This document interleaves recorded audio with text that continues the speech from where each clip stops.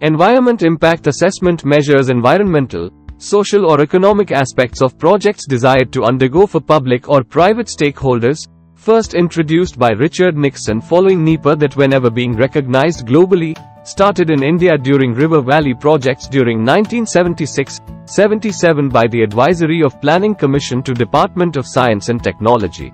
Environmental clearance is mandatory under Environment Protection Act 1986 levied by MEF during January 1994 that reintroduced measures for decentralization of power to the state government in 2006 for any newer project or modification of existing covering 32 subjects of resource utilizations dividing them into category A which only require approval, exempted for screening procedure or category B which requires screening necessarily having category for EIA requirement mandatorily.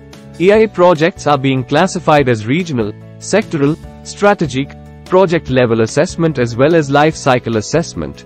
EIA projects considerable vital stages of evaluation are screening, evaluates necessity, probable alternatives choice consideration, preliminary assessment, scoping, identifying issues, mitigation measures, EIA reporting, public acknowledgement, reviewing environment impact management, decision undertaking, post-decision monitoring.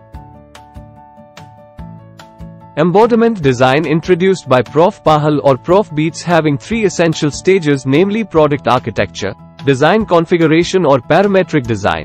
The designing efforts if considered initially from resource mining, extractional processing, refining valuables, transportation, manufacturing fabrication or distributional energy expenditure measurements, then known to be embodied energy calculations, Life cycle energy actual consumption being comprised of operational energy excluding maintenance expenditure or embodied energy encompassing the total required integrational assembling features of energy consumption for a particular construction including recycling or renovations calculations. Initial embodied energy being the non-renewable energy spent during the procurement of raw materials for the construction process.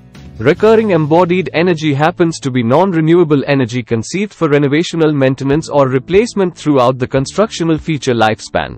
The resource depletion, environmental degradation, GHG constraints, biodiversity regulations are covered while calculating the embodied energy evaluating as mega or gigajoules per unit weight, area.